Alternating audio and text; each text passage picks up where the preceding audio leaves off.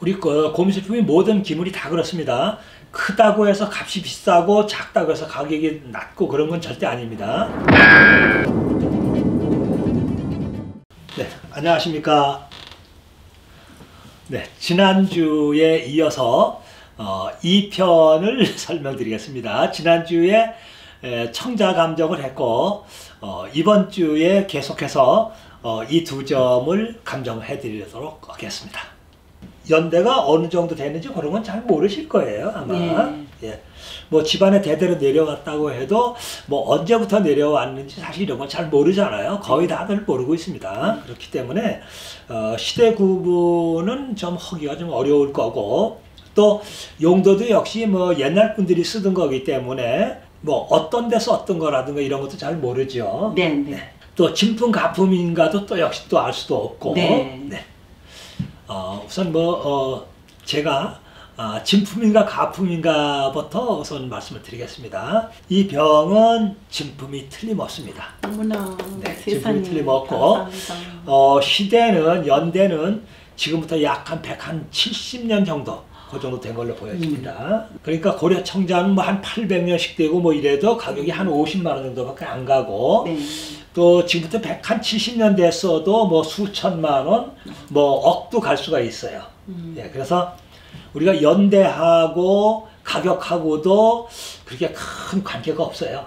네. 그러니까 오래됐다고 해서 무조건 값이 비싼 것도 아니고 네. 또 시대가 얼마 안 됐다고 해서 값이 아주 싼 것도 아니고 그렇습니다. 네. 그래서 어, 시대하고 가격하고는 아주 큰 관계는 없습니다. 단지 정말 아름다운데 연대가 오래됐다 그러면 그건 상당히 값이 높이 평가가 네. 되는 거죠. 어, 우선 그림이 참 잘 들어갔어요. 구리, 그림이 네. 이제 괴석에다가 이렇게 난이 난. 들어가 있고 음. 네, 코발트로 이렇게 들어가 있습니다. 그리고 이도자기는 관여삭입니다. 관여삭이라서 음. 어, 웬만한 가정에서는 못 썼던 거예요. 네. 좀 그래도 벼슬을 했던 그런 집안에서나 사용됐던 그런 병이죠. 네. 상당히 잘생겼어요. 형체도 잘생겼고 이제 색깔도 상당히 좋은 편인데 지금 어째 때가 지금 많이 묻어 있습니다. 때가 이렇게 많이 묻어 있어가지고 뭐 이 때는 얼마든지 제거할 수는 있습니다. 제거할 수는 있고 또 굿부분도 이제 이렇게 생겼는데 물론 뭐 깨끗하게 이렇게 만들 수도 있습니다. 뭐 색깔은 그렇게 아주 썩 좋은 색깔은 아니에요. 그래도 어 이제 관유삭이기 때문에 요 정도 색이면은 그렇게 아무 아주 안 좋은 색이라고 이렇게 평가할 수는 없지만은 어 아주 좋은 색에 비해서는 그렇게 아주 썩 좋은 색은 아니다 이 말입니다. 네. 네.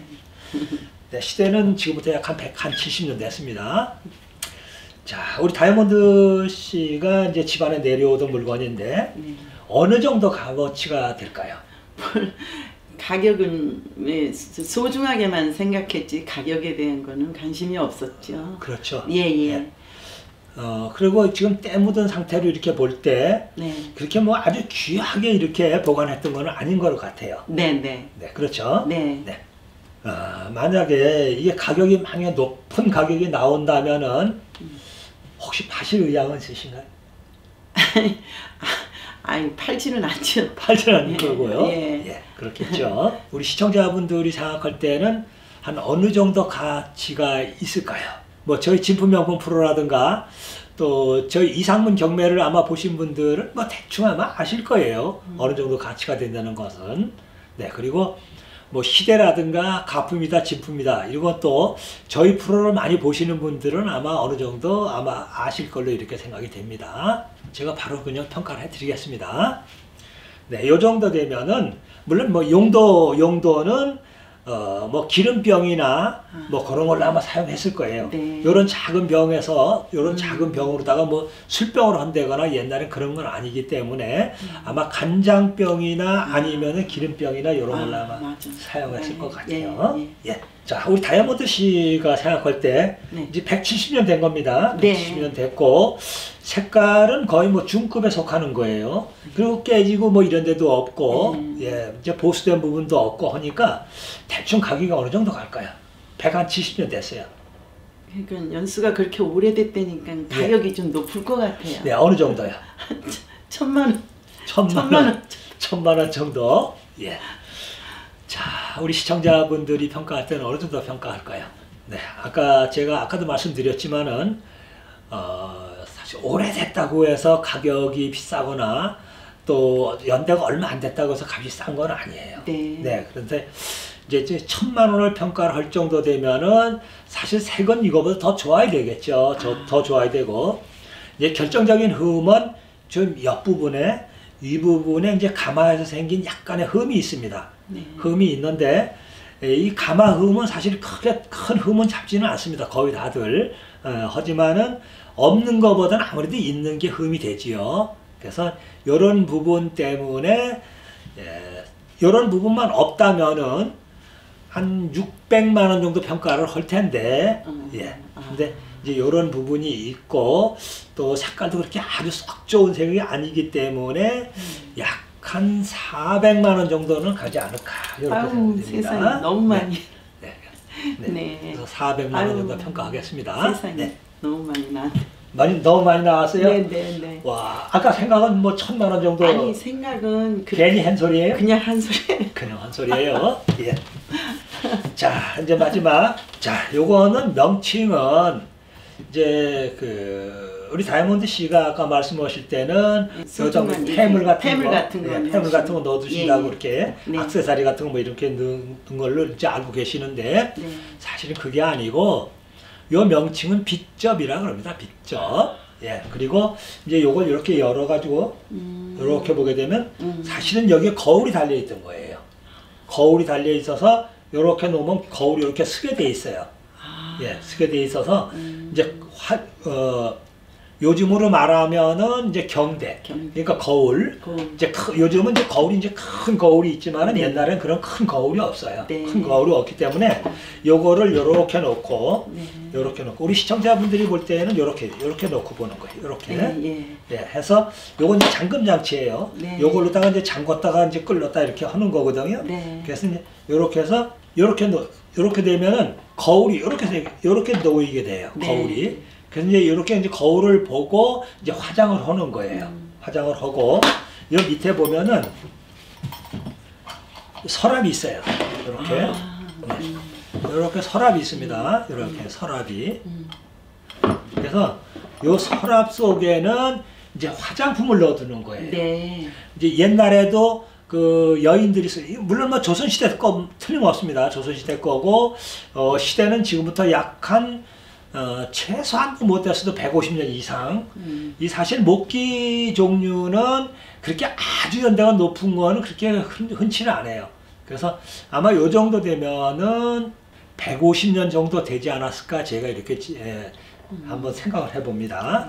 네, 예, 그리고 이제 이런 부분 여기 이제 오래됐느냐 안 됐느냐는 이제 이런 부분에 보게 되면은 예. 여기 보면은 요건 다 대못이에요. 네. 대못으로 다 이렇게 돼 있는데 이게 만약에 쇠못으로 돼 있으면은 일제 강점기 때부터 그 이후에 만든 거예요. 네. 그래서 이제 요건 뭐 조선 시대 때 만든 게 틀림이 없고 이제 요런 칠 같은 거 요런 걸로 볼때 약한 150년 정도, 네, 그 정도 된 걸로 이렇게 이제 보여집니다. 150년 된 걸로 이렇게 보여지고요. 어, 상당히 자개가 잘 맞아 있습니다.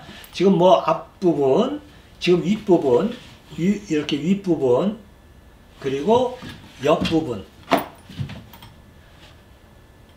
아주 자개가 전체적으로 다 잘 놓여져 있어요. 잘 돼 있고 지금 자개를 놓은 이 그림도 이제 학이 들어가 있고 무슨 이제 이거 복숭아 이제 이제 천두 복숭아라 그러죠. 이제 이런 복숭아 천두 복숭아가 들어가 있고 여러 건 다 이제 오래 사는 의미를 가지고 이제 장수를 뜻하는 그런 의미를 가지고 있습니다.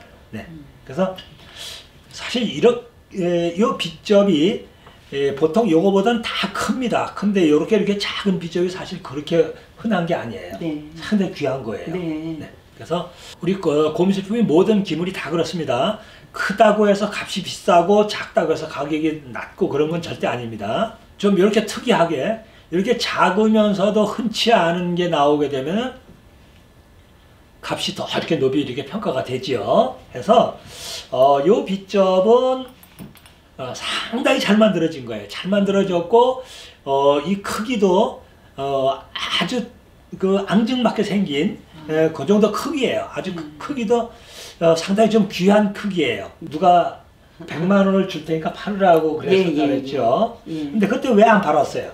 예, 그래도 조상 대대로 물려온 거라 그래도 아- 아버님께서 엄마한테 소중한 물건으로 선물하신 건데 네. 그래서 우리가 그냥 간직하고 있었죠. 음. 아마 그 사람이 만약에 천만 원을 준다 그랬으면 팔았을까요? 팔았겠죠.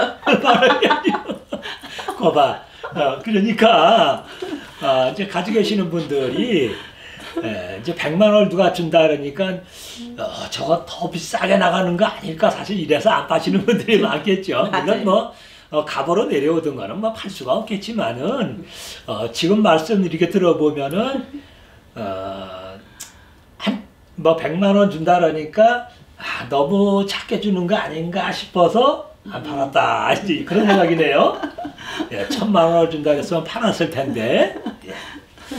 자, 그럼 지금 생각할 때는 한 어느 정도 될 것 같아요. 이제 연대도 알고, 어, 또 이게 어느 정도의 그 가치가 있다는 걸 제가 말로 말, 말, 말을 했거든요. 네, 그러니까 한 어느 정도 가격이 갈까요?